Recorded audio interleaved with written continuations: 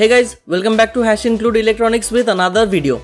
And in this video, we are going to make wireless hand gesture controlled Mecanum wheels car using ESP32 module. The idea behind this car is to read the hand tilt angles using MPU6050 gyro module and send this data to control the car. Based on these angle values, car speed and direction will be controlled using L298 motor driver module. Transmitter and receiver ESP32 modules will communicate using ESP protocol. So let's get started and make this car. If you haven't subscribed yet, please hit subscribe button below and press bell icon to get latest updates.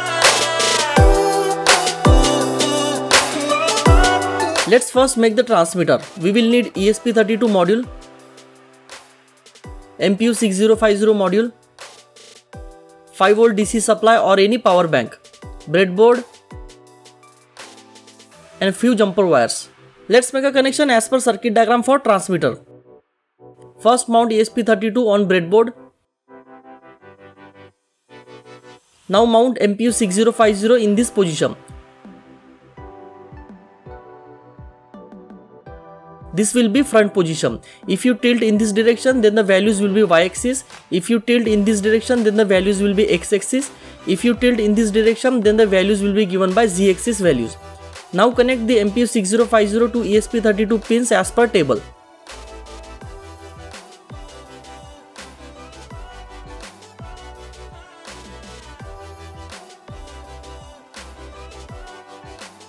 First we need to get the MAC address of receiver ESP32 module. For that we need to install ESP32 board using Arduino board manager. I have provided the ESP32 board link in the description below. Go to file, preferences and add the ESP32 board link. Then go to tools, then boards manager and search for ESP32 and install it. Now connect receiver ESP32 board to laptop and upload this get MAC address code. Select ESP32 Wrover module and port hit upload.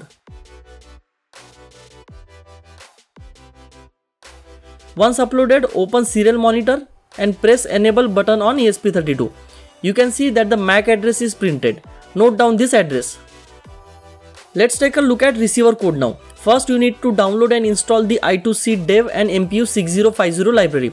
For that download the zip folder from the link provided in the description below. Open the downloaded folder and go inside Arduino folder. From here copy the I2C dev and MPU6050 folder and paste it inside library folder where you have all your Arduino sketches. Inside transmitter code, first we need to include the ESP now and Wi-Fi library. Then we need to include the I2C dev and MPU6050 library. We need to create MPU6050 object as MPU. Then we have defined some variables related for MPU6050 handling. Keep it as it is. Then we have set the receiver MAC address as found in previous step. We have defined packet data structure to send data. We have defined on data send callback function which will be called when data is sent using ESP now protocol. We have defined setup MPU function which takes care of setting MPU and automatic calibration of it. Don't make any changes in this function. Inside setup function initialize the ESP now. Now register the callback function. Then we need to set up the receiver peer info and add it to ESP now. Then call setup MPU function to set up MPU. Inside loop function we read the values from MPU 6050 module. YPR is array which gives angle values. Index 0 gives z-axis value, index 1 gives y-axis value and index 2 gives x-axis angles. The angle values will vary from minus 90 to 90. We will map it to 0 to 254 so 127 becomes the center value. Now we will send the data through ESP now using ESP now send function. We will add some delay for data to be sent. The code link is provided in the description below. You can upload it directly. Connect transmitter ESP32 module to laptop using USB cable. Select ESP32 Wrover module and port. Hit upload. Now let's take a look at receiver. We will need 4WD car kit. This car kit comes with car chassis, 4 TT gear motors, 4 mecanum wheels. We have R-type and L-type wheels, connectors and screws. We will also need ESP32 module, two L298 motor driver modules, 7 to 12 volt DC rechargeable battery, in our case LiPo 2S battery, double sided tape and few jumper wires. Let's assemble the car now. First let's solder wires to gear motors. Mount all 4 motors on car chassis using connectors and screws.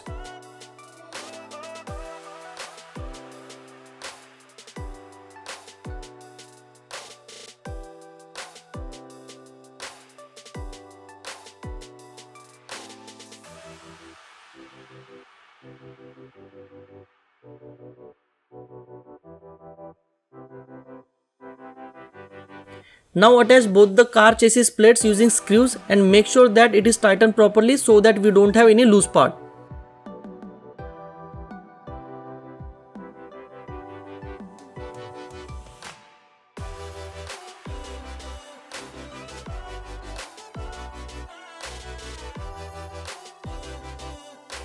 Attach L298 motor driver modules on car chassis using double-sided tape. This is what car looks like from the top view. As shown, we have 4 motors as front right, back right, front left and back left motors. We will control 2 backside motors with backside L298 motor driver module and 2 front side motors with front side motor driver module. Now let's make a connection as per circuit diagram. Connect gear motors to L298 motor driver module. Backside motors will be connected to backside motor driver module.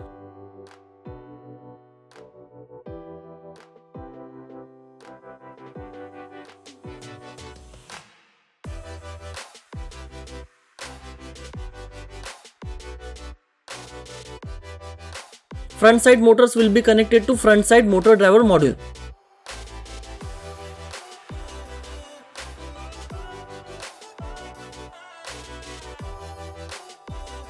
Fix ESP32 module on car chassis using double-sided tape. Now connect back L298 motor driver module to ESP32 pins as per table. Now connect front L298 motor driver module to ESP32 pins as per table.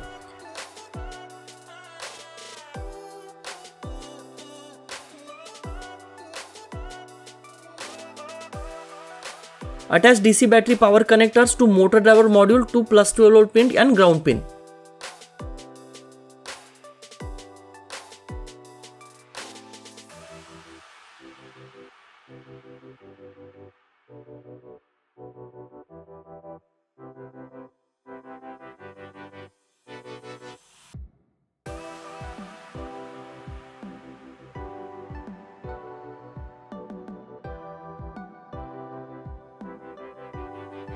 We will take plus 5 volt and ground from back L298 motor driver module and provide to ESP32 module through 5 volt and ground pin.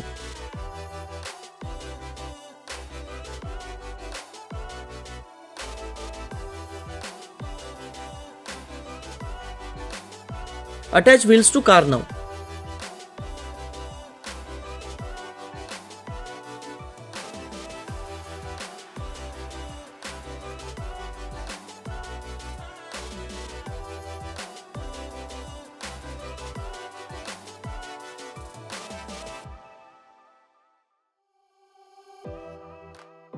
Let's take a look at receiver code now. We need to include the ESP now and Wi-Fi library.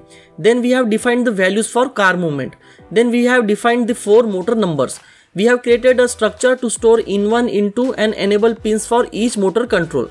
Then we have created a vector which is array called motor pins to store the pins for all four motors. You can change the pins if you want to use other pins. We have defined max motor speed as 200. Its max value can be 255. You can change this as per your need. We have set the PWM frequency and resolution for the speed. We have set the signal timeout as 1000 milliseconds. We have created packet data structure to store the received values. We have on data receive callback function which will be called when ESP32 receives data. Inside this function, we will call process car movement function to move the car accordingly. Then we have created process car movement function which takes command for car movement as argument. It will move the car based on commands like forward, backward, left, right, etc.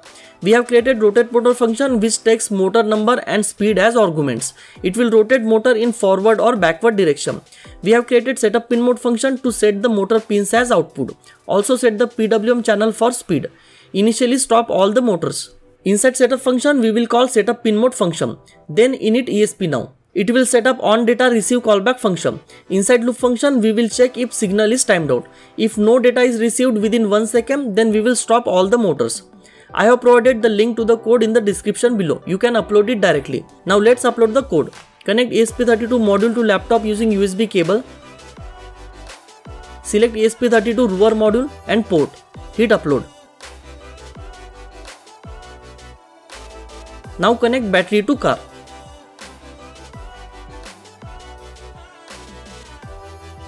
Now provide 5 volt supply using power bank and USB cable. Keep it flat for 5 to 6 seconds for calibration. That's it. Let's see how it works.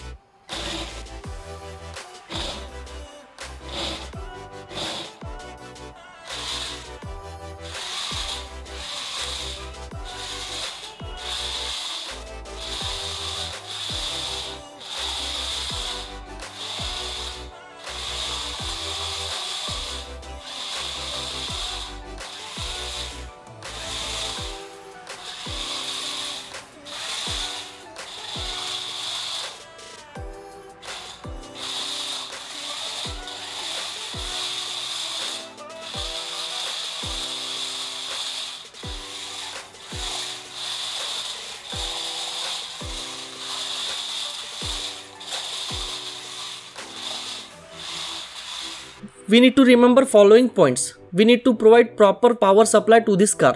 Please use rechargeable battery only. Keep transmitter on flat surface and then only provide power. Hope you guys enjoyed the video and thanks for watching. Stay safe and please like, share, comment and don't forget to subscribe to my channel.